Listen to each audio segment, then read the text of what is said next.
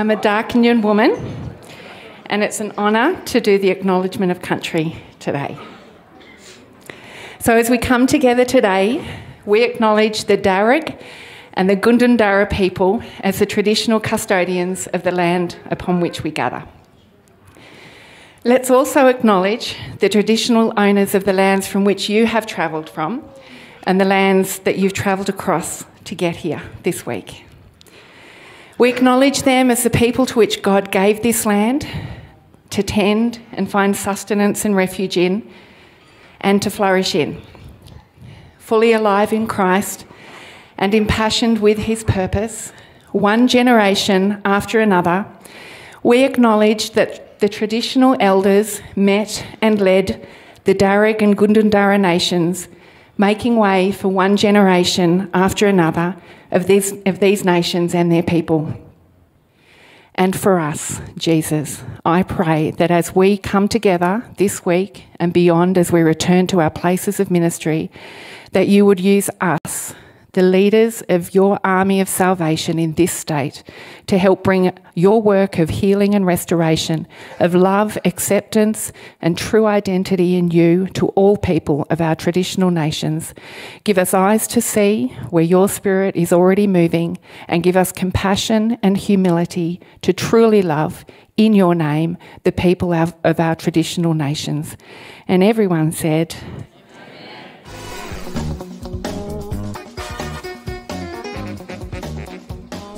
Spiritual renewal is a continual inner process of being made new by the power of God at work in our lives. As we are created uniquely, our experience of being renewed is often unique too. However, the outcome of the process always results in us becoming more like Jesus and living a life that reflects Him better. Spiritual renewal is often connected to us lifting our eyes in surrender acknowledging our need for and dependency on God, being on our knees as people of prayer, seeking God for answers and believing for God to act, not only in our own life, but in our towns and cities.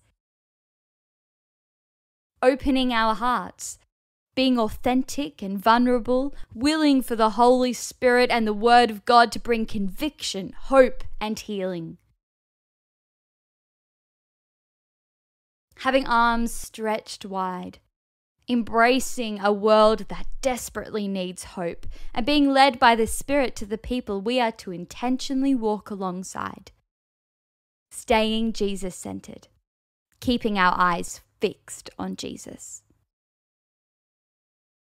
So, why is this important? A genuine connection to Jesus brings fullness of life and hope, regardless of circumstances.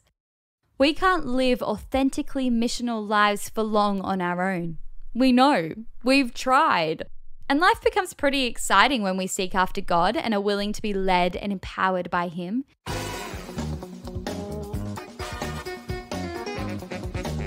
There is no greater joy than doing what He asks and being the people He created us to be.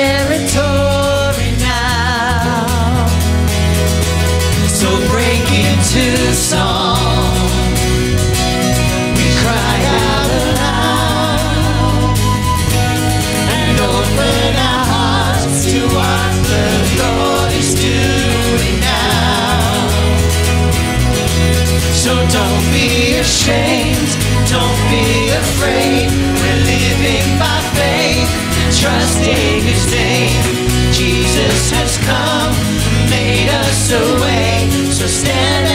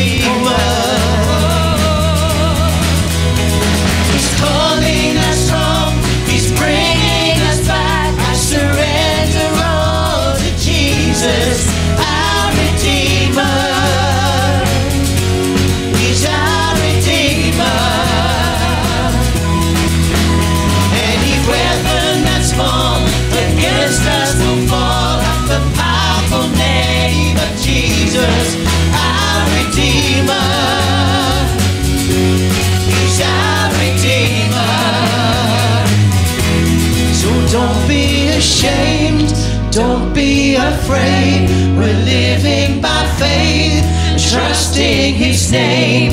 Jesus has come and made us a way. So stand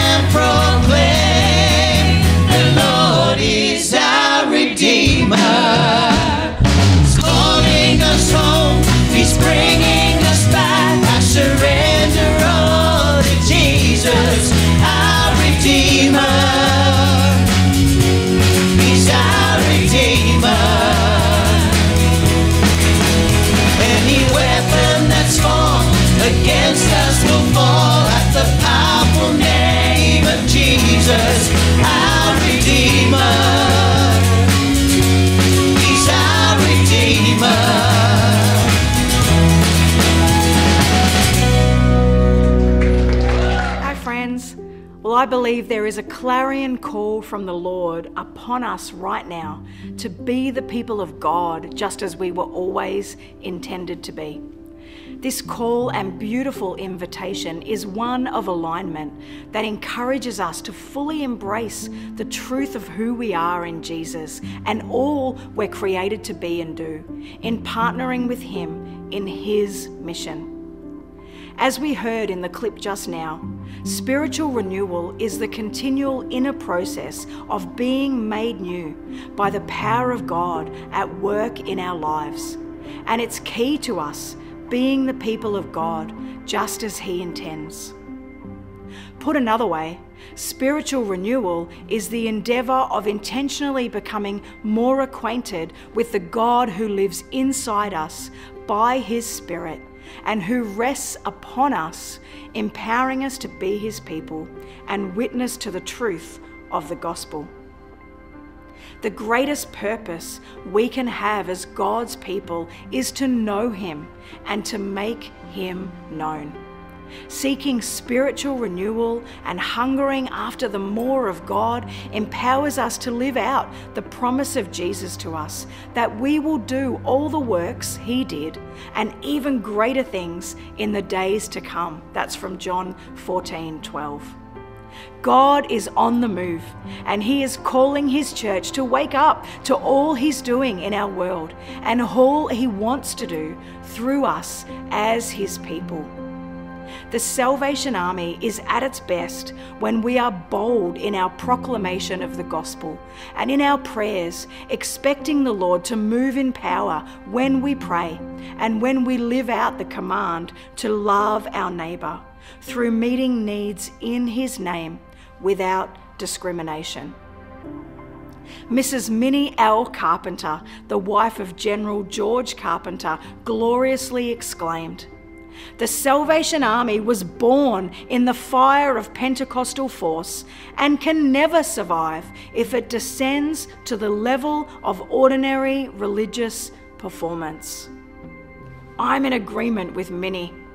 Friends, the gospel is urgent. The world desperately needs to know and experience the healing love of Jesus. We are his hands and feet, but we need to ensure that we're spiritually renewed every day and battle ready with our eyes high, firmly fixed on Jesus, our hearts open to the Holy Spirit and his leading, on our knees, contending with the Lord in prayer, looking for the way that God is moving He needs those who are contending in these days. We must renew our hunger for prayer and intercession. And with our arms outstretched, embracing a world that so desperately needs hope. Everything we need to be the people of God, just as He intends, will come from the place of spiritual renewal.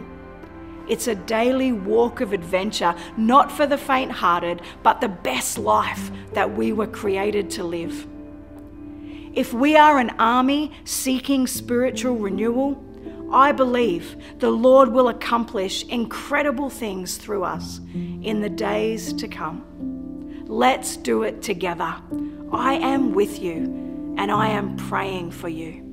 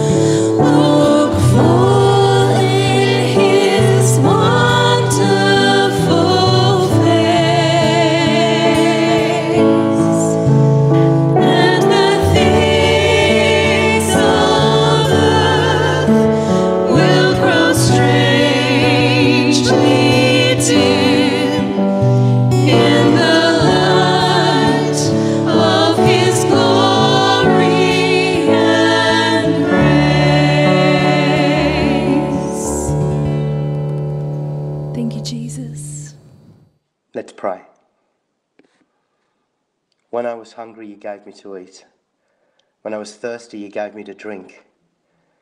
I was homeless, and you opened your doors. And when I was naked, you gave me a coat. When I was weary, you helped me find rest. When I was anxious, you calmed all my fears. When I was little, you taught me to read. When I was lonely, you gave me your love. I was in prison and you came to my cell. On a sick bed, you cared for my needs. In a strange country, you made me at home. Seeking employment, you found me a job. Hurt in the battle, you bound up my wounds. Searching for kindness, you held out your hand. When I was black or Chinese or white, mocked and insulted, you carried my cross. And when I was old, you bothered to smile. When I was restless, you listened and cared. You saw me covered with spit and with blood. You knew my features, though grimy with sweat. When I was laughed at, you stood by my side. When I was happy, you shared in my joy.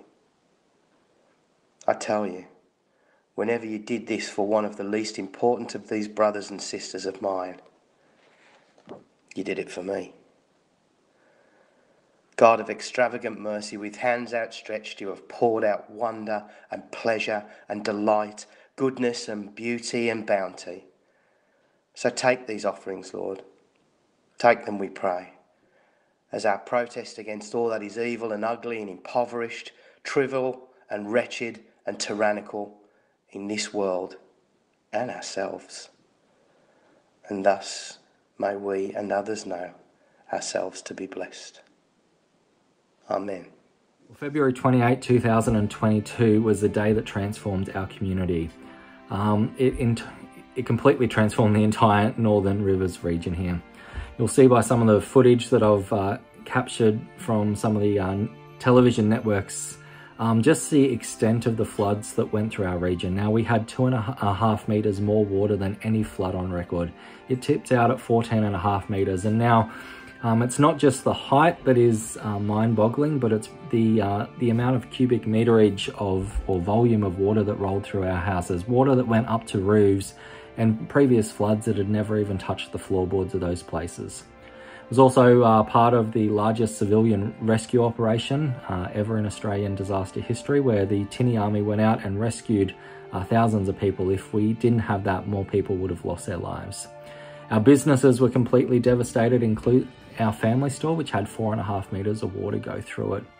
And uh, 12 months on from the flood, whilst all the debris from the streets is now cleaned up, um, we are still in a state of disaster in our community. Um, our council says this is going to be a 10 year project to get our community back to uh, normal.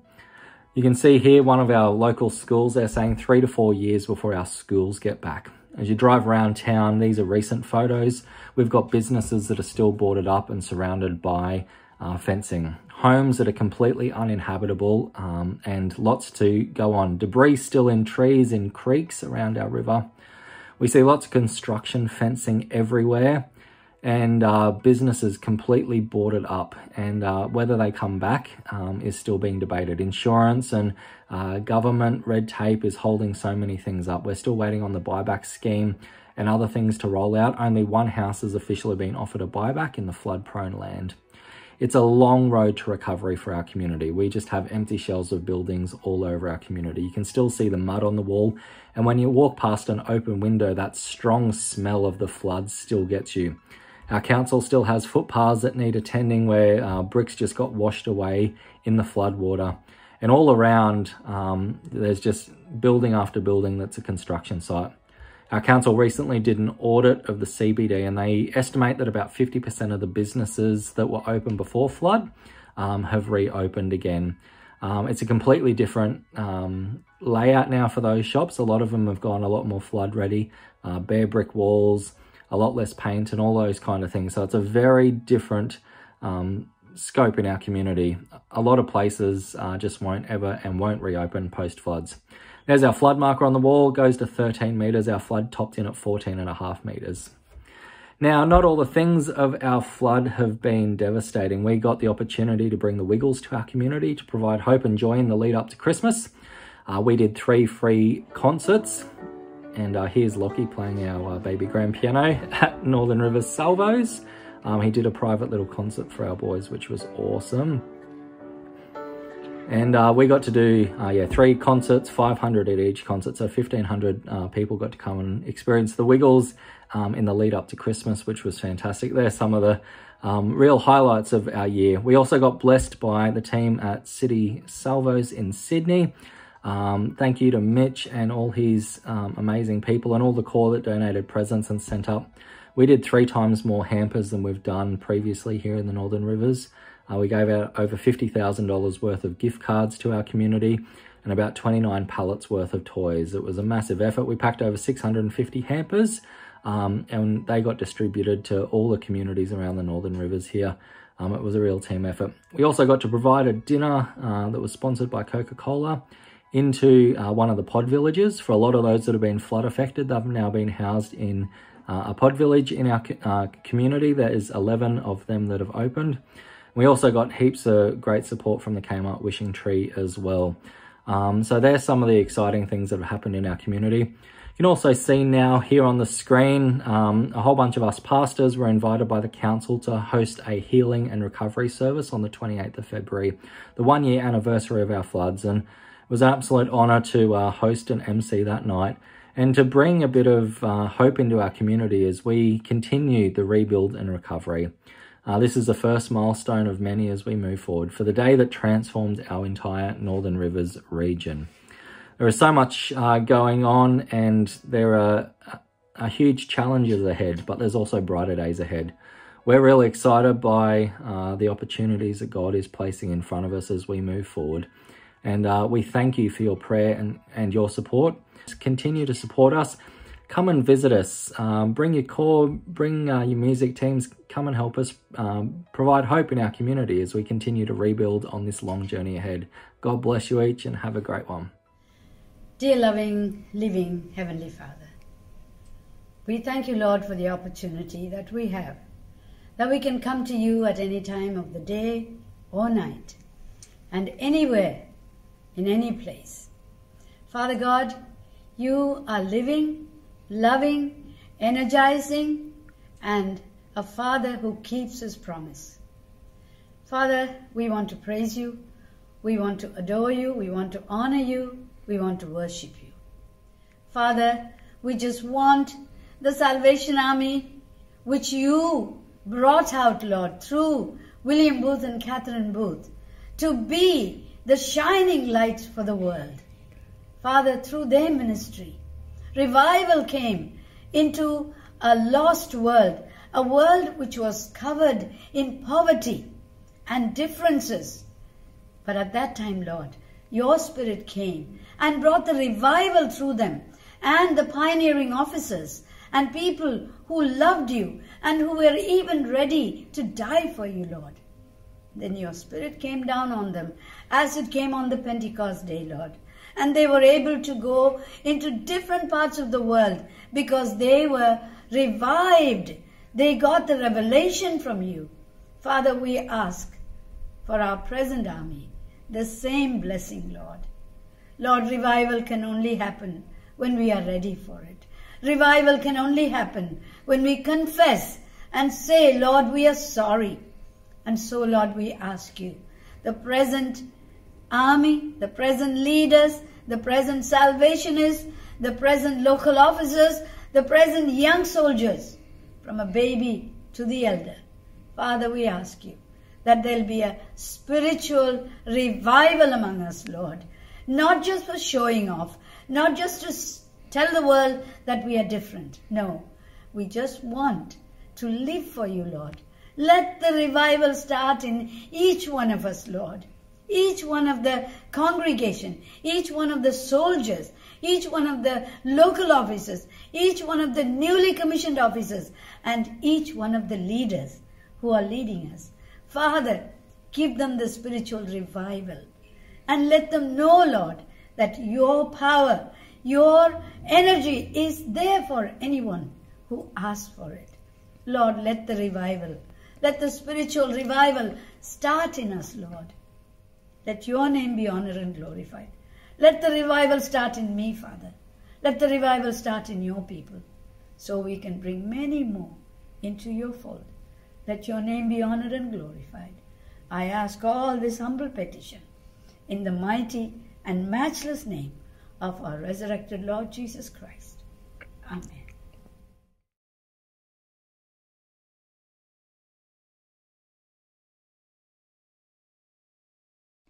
И сказал Господь Моисею, говоря, «Я услышал ропот сынов Израилевых. Скажи им, вечером будете есть мясо, а поутру насытитесь хлебом, и узнаете, что я Господь, Бог ваш». Вечером налетели перепелы и покрыли стан, а поутру лежала роса около стана. Роса поднялась, и вот на поверхности пустыни нечто мелкое, круповидное, мелкое, как ини на земле. И увидели сыны Израилевы и говорили друг другу, что это? Ибо мы не знали, что это. И Моисей сказал им, это хлеб, который Господь дал вам в пищу. Вот что повелел Господь. Собирайте его каждый постольку, сколько ему съесть. По гомору на человека, по числу душ, сколько у кого в шатре. Собирайте. Hi, friends. For those who I haven't met, my name's Sally, and I'm a corps officer down here in Canberra, ACT. I absolutely love the community that I'm a part of and what God is doing among us here. Recently, when I was praying about a biblical basis for spiritual renewal, the passage that God kept giving to me over and over again was Exodus 16. Fresh out of slavery, God's children wandering in the desert. They don't have the Ten Commandments yet, and Mount Sinai is just around the corner. So they don't yet fully understand the life they've been brought into. In a lot of ways, they're still stuck looking back. And on top of all of this, they're hungry and they're thirsty. So they've got a serious case of hangry happening. We read that the whole community, eyes back on where they were, are grumbling, saying, If only we had died by the Lord's hand in Egypt.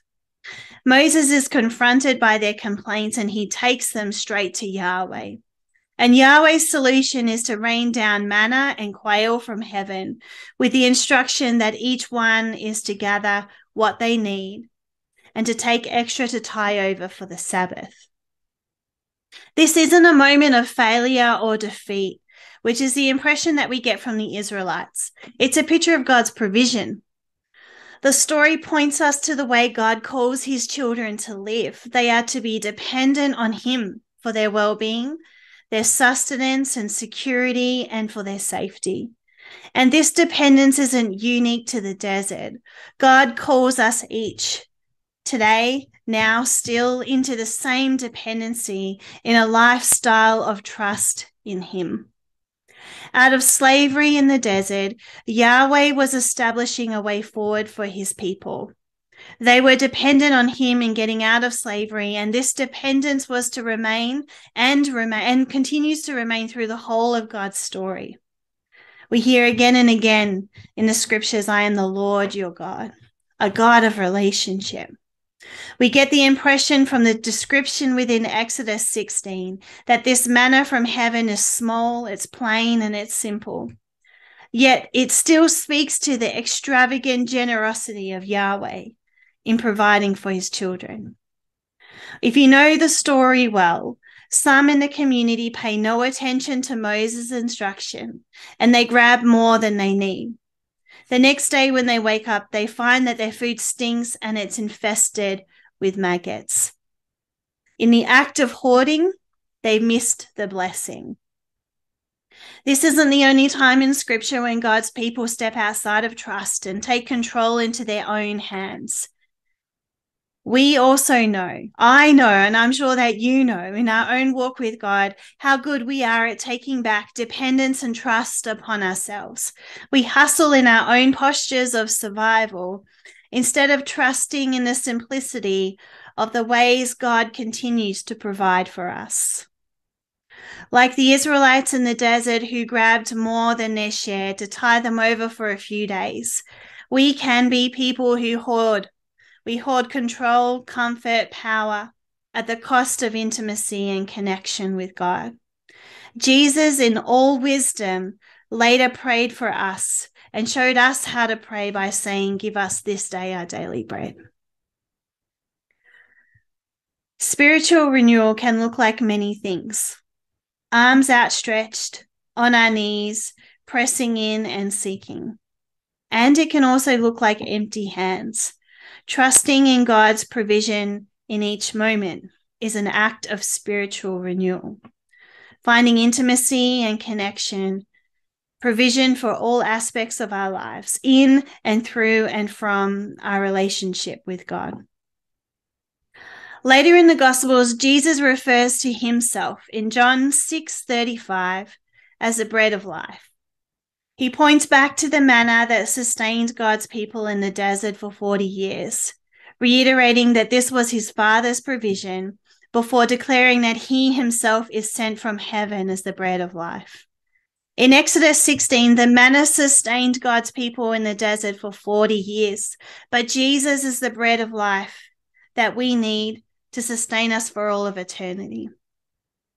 The Israelites complained in the desert they considered their hunger and thirst as a sign that they would have been better off where they didn't have to feel those things, where they didn't have to feel what it was to go without or to be called out from. Yet Jesus in the Beatitudes declares that those who hunger and thirst for righteousness will be filled. Those who hunger and thirst for righteousness will be filled. So, my prayer and I pray this for you too, and I invite you to pray it with me, is that we each would have a renewed sense of God's provision, God's generous provision, the simplicity and intimacy of connection with Him. That our hunger and thirst for spiritual renewal would bring us back to trust in the relationship we have with God our Father that instead of complaining and grumbling, may we find new ways of embracing this new life we've been brought into. Living as the people of God, trusting in His provision, and posturing ourselves in such a way that we are obedient in hungering and thirsting after things of this kingdom over any temporary satisfaction we could find in this world. Would you pray that with me? Amen. Thank you, Jesus. The words of Jesus. Are you tired? Worn out? Are you burnt out on religion? Come to me. Get away with me, and you'll see how to recover your life. I'll show you how to take a real rest Walk with me and work with me. Watch how I do it. Learn the unforced rhythms of grace.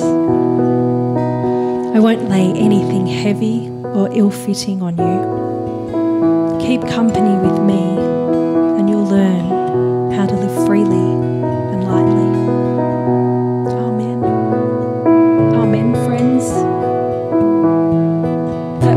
first question Are you tired? Are you worn out? Yes. yes is the answer.